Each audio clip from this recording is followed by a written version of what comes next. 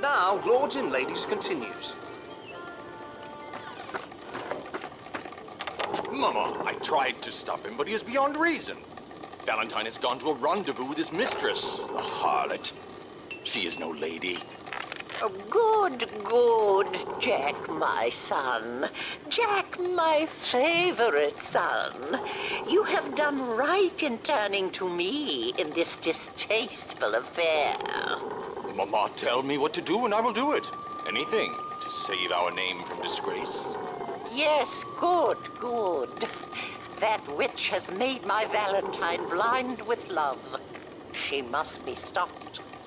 Jack, my boy, our name, our line is pure, precious, holy. It must be preserved at any cost.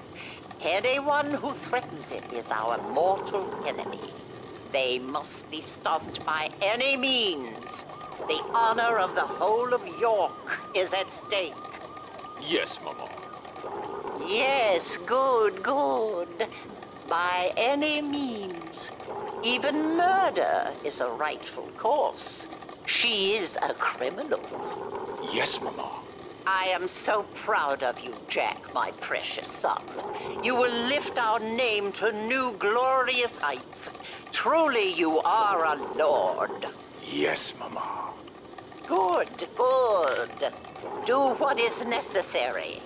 Now go to the harlot's house. Ride like the wind. Fight proud, my son. Yes, Mama. Good. Good.